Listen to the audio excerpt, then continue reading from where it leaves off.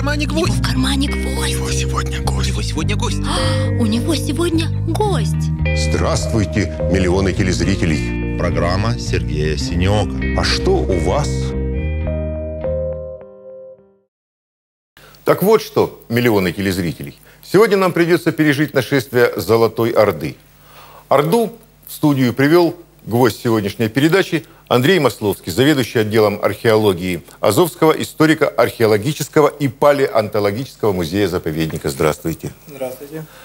Андрей, у вас с Ордой какие отношения складываются? Ну, рабочие.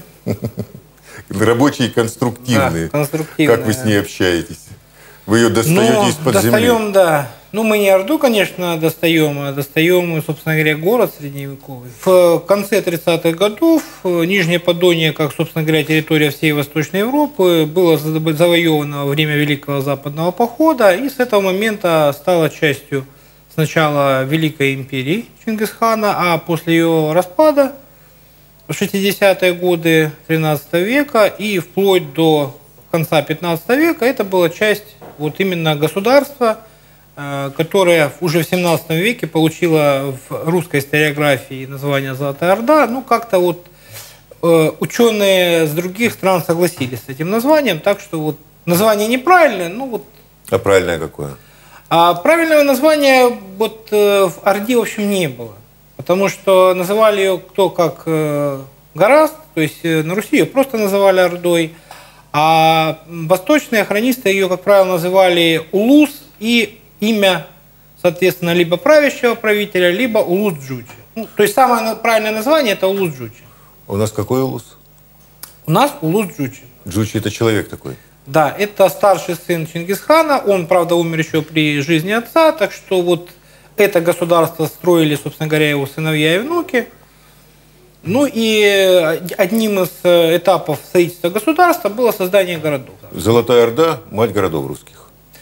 А, Не совсем так, но история нашей страны без Золотой Орды, она была бы совершенно другой. Э, Русь в 13-14 веке, она тоже была часть Золотой Орды. В 16 веке вот Иван Грозный претендовал на то, что он истинный чингизит, и поэтому, соответственно, он объединяет э, земли распавшейся империи. Ведь э, до монгольское время русские, в общем, за пределы лесов-то особо не переселялись. А когда и куда они пришли на Дон? Первый раз это было в 1222 году, второй раз, ну, видимо, в 1239. Они что, приходили и уходили туда-сюда? Да, ну, та вообще стратегия как бы монгольской армии была такова, что сначала следовала разведка боем, а потом уже, когда в 1235 году начался Великий Западный поход, постепенно область за областью монголы завоевали вот всю Восточную Европу. И пришли в Азов.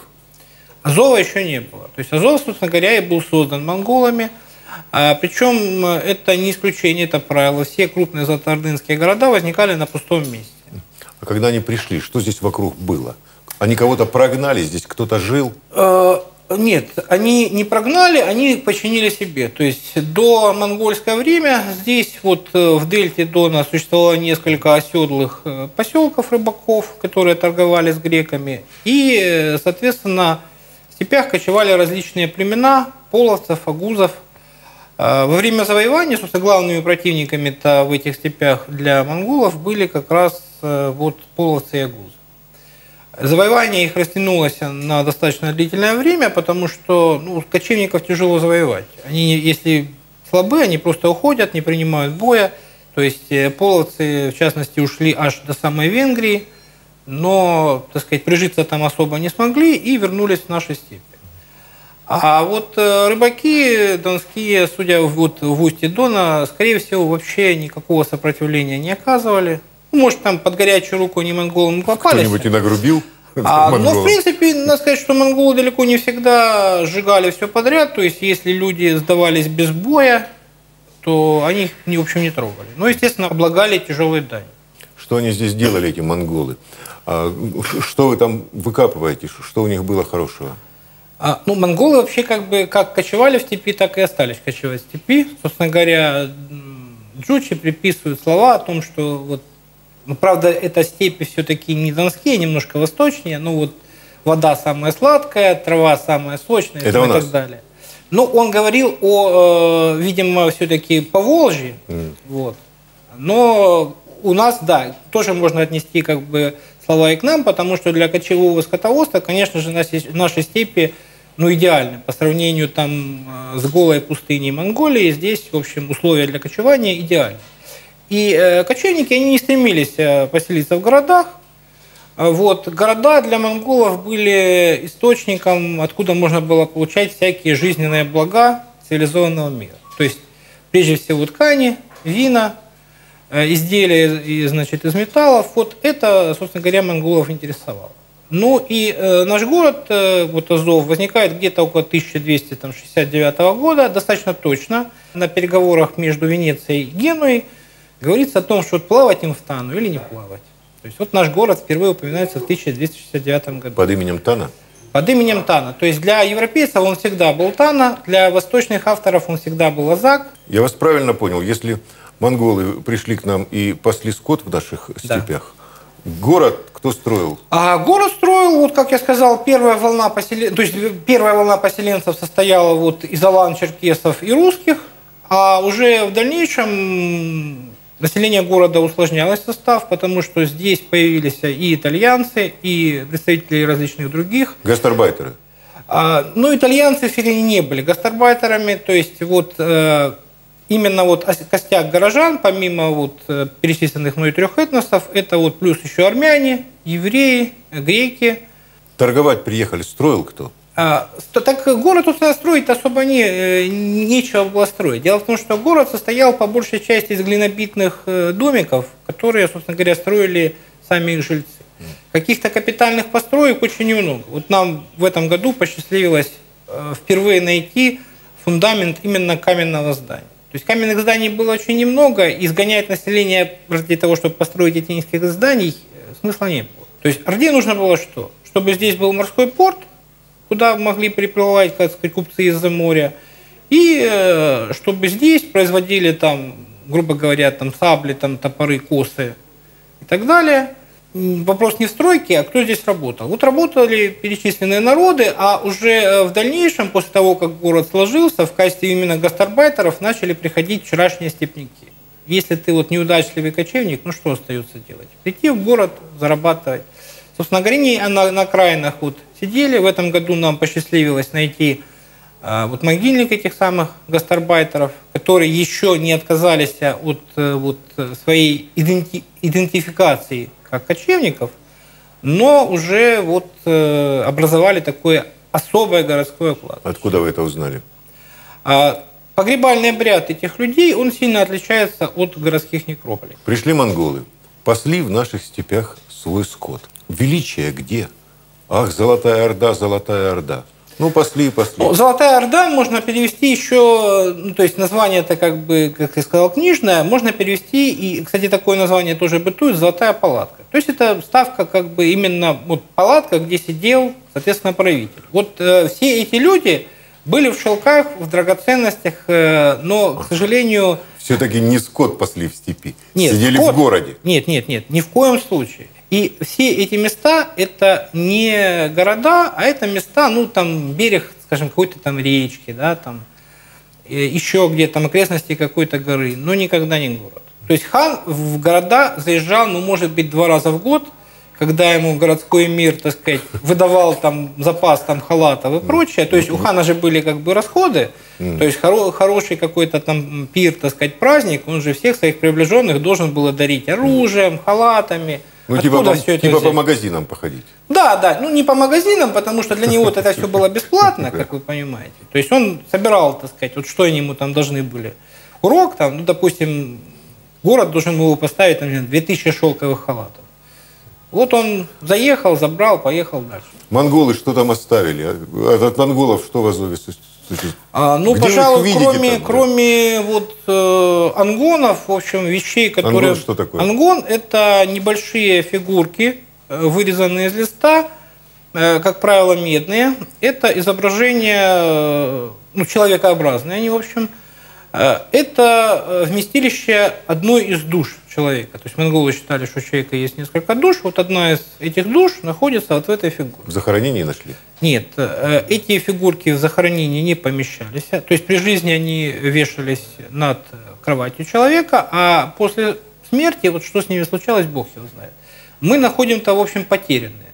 Один раз мы нашли, дважды, вернее, мы нашли такие фигурки на кладбищах, но не в погребении. В одном случае она была, кстати, сломлена. Возможно, после смерти человека ангон полагалось ломать. И в ордынское время очень широко распространяется изображение дракона. Хотя дракон тоже, в общем, не монгольский, он китайский. Ну вот монголам очень понравилось, это была имперская эмблема. И, соответственно, вот э, на тканях, на металле можем увидеть изображение дракона. Ну вот армии монгольской, собственно говоря, стали за захоронение воинов – в том числе и захоронения, хотя их немного, так скажем, офицеров крупных. Но, собственно говоря, в чем сила была кочевников? В том, что э, с оружием были, в общем, воинами практически все взрослые, и даже не обязательно взрослые, э, мужчины. Они То же есть, пастухи. Они же и пастухи, да. Это позволяло мобилизовать значительные по численности армии, которые превосходили соответственно, армия оседлых народов, где э, военное сословие – это очень небольшая группа населения. Художественную ценность что имеет из того, что вы поднимаете из-под земли? Из того, что вот э, мы поднимаем из-под земли, художественную, наибольшую художественную ценность в нашем городе имеет э, значит, поливная керамика. Дело в том, что а, чем крупнее Золотоордынский город, тем лучше работал торчер-цвет и чермет. А металла мы находим в городе очень мало. Чему, опять же, там многие люди не могут поверить, ну, правда. Ну, вот все, что там ломалось, все шло в переработку. А, соответственно, то, что остается в земле, это вот художественная керамика. Но художественная керамика у нас одна из самых богатых коллекций. Вот. У нас, скажем, коллекция керамики, произведенной в мастерских э, Юго-Восточного Крыма, ну, это район современной Феодосии Судака – она у нас больше, чем э, в самой Феодосии, в самом Судаке. Ну, вот так вот получалось, что вот жители нашего города очень прямо заботливо, скажем, о будущих археологах выбрасывали э, все фрагменты разбитой там чаши в одну яму. Ну, не всегда, конечно, но достаточно часто. И поэтому у нас очень много целых сосудов, которые бы, в общем, украсили любой российский и европейский музей, но, к счастью, как бы они остаются все в нашем музее. Вы что, мусорники раскапываете? В общем, ну так археологи, собственно, как правило, раскапывают, ну, вариант что? Либо что-то сгорело, вот, либо, соответственно, кого-то захоронили, либо, соответственно, мусор. Ну, самое лучшее, конечно, сгоревшее, там, потому что там все предметы, не только выброшенные. Но это, в общем, достаточно редко бывает. Сколько, вы говорите, монголы у нас жили? Монголов, как таковых, вот, которые бы знали язык, почти не осталось. То есть они смешались с местным населением. Вот. Об этом хотел спросить. Но не до конца. То есть, как бы современные тюркоязычные историки российские, они всячески значит, пытаются доказать, что вообще монголов здесь была горстка, они очень быстро исчезли. Но э, известно, скажем, что по нотариальным актам итальянским, в которых фиксировалась национальность продаваемого раба, э, даже в 60-е годы XIV века достаточно много людей называли себя монголами. А, так что вот где-то лет 150 они жили. А, а в дальнейшем, уже к концу XIV века, скорее всего, вот самосознание монгольское полностью исчезло. Ну, самосознание, может, и исчезло. Генетика осталась. Это наши а, предки. Генетика, нет. Это, конечно, не наши. Ну, то есть в любом, а куда они делись? в любом народе можно найти э, корни там, с десятков как бы этносов.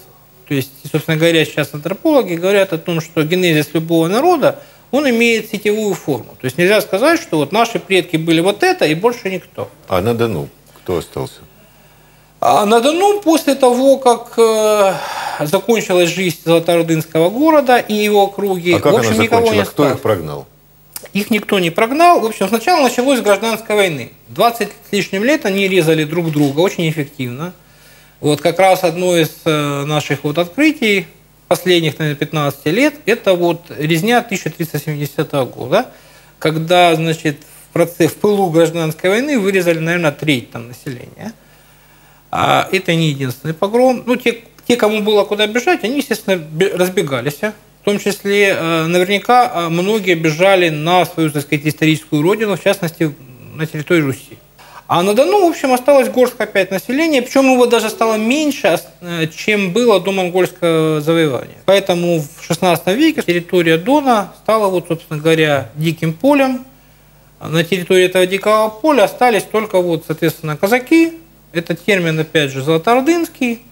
Что получается? Пришли, город нам построили, работу всем дали, потом между собой передрались и исчезли. Что плохого-то? Где тут иго?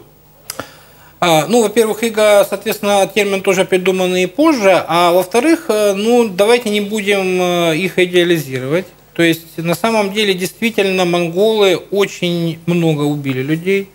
А, то есть, был период, когда слово толерантность, в общем, нехорошее, мне не нравится.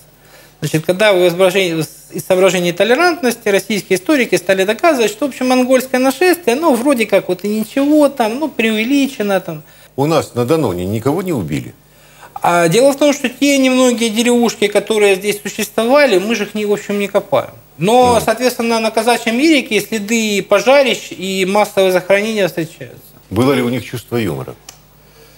А, но если судить по Чингисхану и вообще по путешественникам, чувство юмора у них было, скажем, очень специфическое. Ну, например, э, очень любили они, так сказать, напоить. Вот, соответственно, итали...